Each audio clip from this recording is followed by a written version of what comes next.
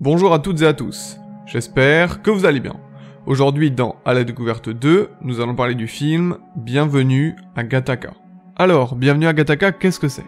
On est euh, dans un futur où euh, ils essayent d'inventer un monde parfait, c'est-à-dire qu'on peut gérer les naissances par patrimoine génétique, euh, c'est-à-dire que par exemple un enfant peut naître, on peut choisir la couleur de ses yeux, s'il va être plus ou moins sujet à telle ou telle maladie, etc.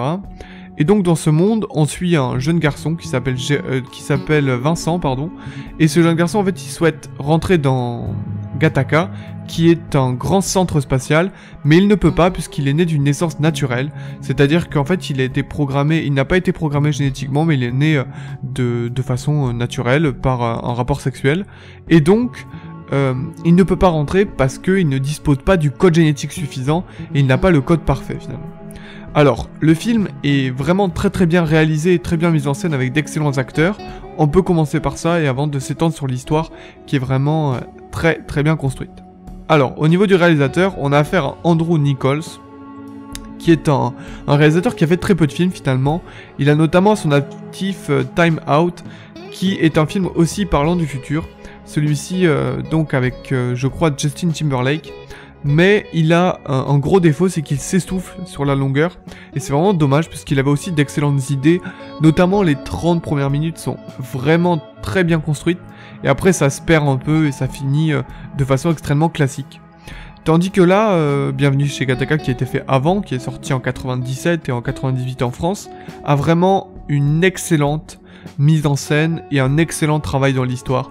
Il raconte vraiment un propos très intéressant et euh, ne s'essouffle pas, bien au contraire, monte tout en puissance et il est euh, à la fois calme mais raconte vraiment une multitude de choses. Alors il s'appuie sur un casting quand même de rêve. Je, je sais pas s'ils étaient aussi connus qu'à l'époque, mais vraiment c'est un casting idéal hein, finalement, avec Ethan Hawke, qui maintenant a une carrière très très bien établie, Uma Thurman et Jude qu'on ne présente plus. Et avec ce trio-là, surtout en duo avec Ethan Hawke, Jude et Uma Thurman qui appartient euh, vraiment à l'ambiance euh, du film, elle correspond très très bien au, au code génétique parfait de la femme euh, vraiment construite génétiquement. Elle joue un rôle très important dans l'histoire dans la deuxième partie du film, mais je vais essayer de ne pas vous spoiler pour que vous puissiez vraiment découvrir euh, de quoi il en retourne. Ce film est vraiment euh, très très bien construit, donc euh, je ne veux pas vous gâcher la surprise des événements. Et c'est très intéressant, ça parle d'une multitude de sujets, ça, aborde vraiment, avec le thème de la science-fiction, ça, ça permet de transfigurer des, des, données qui sont même à l'heure actuelle présentes, c'est-à-dire qu'on se pose ces questions actuellement, même si on n'en est pas arrivé à autant de, de justesse euh, génétique, mais petit à petit on progresse génétiquement, et le film raconte un petit peu aussi ce, que le futur euh, pourrait ressembler. Alors il y a une autre chose à noter avant de passer vraiment à l'histoire et puis à tout ce que vraiment on, peut tirer du film, et eh ben au niveau de la, réalisation, il y a vraiment un souci du détail dans le, dans le futur qui est euh, décrit. C'est-à-dire qu'on est dans un futur rétro-futuriste, on pourrait un petit peu l'appeler comme ça, c'est-à-dire qu'on a des événements, des éléments pardon, du passé qui sont retranscrits et remis au goût du jour dans un nouveau futur. Et ça c'est excellent.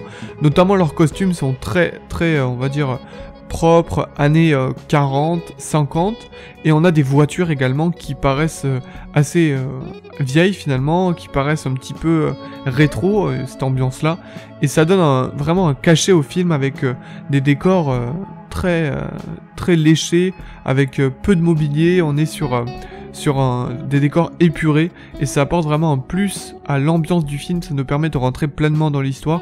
On ne voit pas de défauts apparents et c'est ça la grande, le grand atout du film en plus de, son propos. Alors si on revient plus en détail donc dans l'histoire, elle parle frontalement d'eugénisme. Alors l'eugénisme, qu'est-ce que c'est? C'est le tri progressif pour éliminer les défauts génétiquement. C'est-à-dire par exemple si un enfant handicapé, eh ben il naît, et eh ben tout simplement cet enfant handicapé, eh ben soit on l'empêche de naître, soit on fait euh, on, le stérilise pour pas qu'il puisse se reproduire. Et dans ce film, en fait, on, en est à un stade encore plus avancé. Ils essayent d'éliminer progressivement toute forme de maladie, toute forme euh, d'handicap, euh, ou de risque, et ça en vient à, un système totalitaire, hein. c'est-à-dire qu'il y a les gens qui naissent de, naissance naturelle, et eux sont sujets à beaucoup... Enfin, c'est vraiment les parias de la société, c'est quand même horrible de se dire ça, hein, finalement, de nos jours, puisque tout le monde naît par naissance naturelle. Enfin, il y a maintenant les, les in vitro qui ont, qui ont changé la vision de, de l'homme dans la création. Euh, quand j'entends homme, j'entends homme et femme, bien sûr. Hein. Et donc... C'est très très très bien retranscrit dans, dans le propos que ça veut tenir, parce que ça parle d'eugénisme de façon négative dans le film, bien sûr. Euh, c'est-à-dire que bah, ce jeune homme qu'on suit, donc Vincent, il est euh, de, de, naissance naturelle et il se retrouve en fait euh, barré dans la société, il ne peut pas monter les échelons, tout simplement parce qu'il a des risques, par exemple cardiaques, qu'il a des risques, plein de risques, qui sont d'ailleurs notés à sa naissance. On, note à la naissance à peu près l'âge qu'ils vont avoir et quels sont les risques. Lui, c'est cardiaque. Et donc, ça l'empêche de rentrer. Mais ça, pose une question, c'est qu'en fait, il n'a pas, à proprement parler dans le film, de problème cardiaque, mais on lui empêche l'accès parce qu'il pourrait en avoir. Et ça, c'est un entretien d'embauche. En fait, on fait du racisme envers lui, en fait, de l'exclusion euh, euh, on le bloque, on lui bloque le passage, parce qu'il a des risques d'avoir des complications. Et ça pose énormément de questions, à savoir, euh, finalement, est-ce qu'on peut faire une société totalement aseptisée et dégageant de tout danger? Et c'est une question qui est posée dans le film et qui est très très bien traitée parce que le film dure 1h45, ça se pose en longueur et ça essaye de nous décrire pourquoi le système n'est pas viable et pourquoi ça crée un système totalitaire ne se basant finalement que sur ce qui pourrait arriver et pas sur ce qui arrive. Euh, ça c'est très important. Après, Uma Thurman, dans la deuxième partie du film, en tant que, en tant que dans son personnage, incarne une nouvelle forme euh, de personnage. Elle nous décrit un nouveau pan de ce qui voulait être transmis par, par le réalisateur et ce qui voulait être transmis dans l'histoire. C'est-à-dire qu'elle a un rôle, euh, je peux pas vraiment le décrire sans spoiler, mais elle est attirée, elle se pose beaucoup de questions sur notre personnage Vincent parce que Vincent est un faussaire vraiment incroyable. On l'apprend dans, les premières minutes du film. Il a vraiment, il fait des efforts considérables et il s'est fixé un but qu'il veut atteindre à tout prix. C'est vraiment incroyable comment il arrive à, se donner les moyens. C'est aussi une quête de la réussite et de pourquoi rien n'est impossible si on s'en donne les moyens. Ça transmet aussi ce message. Et donc Uma Thurman dans le film a tous les codes génétiques de... Elle a un code génétique parfait. Elle est finalement un ersatz parfait. Et euh, face à elle, elle se retrouve avec quelqu'un de perfectible et se rend compte qu'en, et se rend compte qu'en fait cet homme a réussi à atteindre une perfection peut-être plus grande qu'elle en termes de, de, de tout ce qu'il dégage.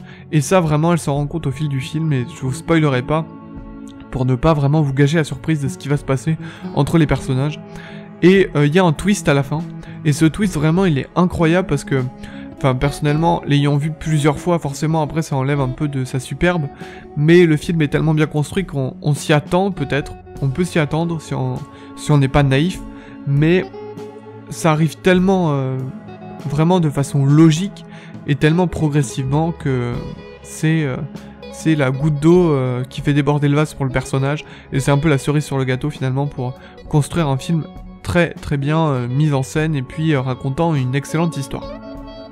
Il y a aussi en, dernier point euh, des acteurs qui ont euh, vraiment euh, des, personnages très très bien retranscrits qui ont eu, qui permettent à la grande ambiance du film et son histoire avec l'eugénisme nous pousse à nous poser vraiment des questions sur le futur, à ce qu'on veut finalement de notre futur de demain.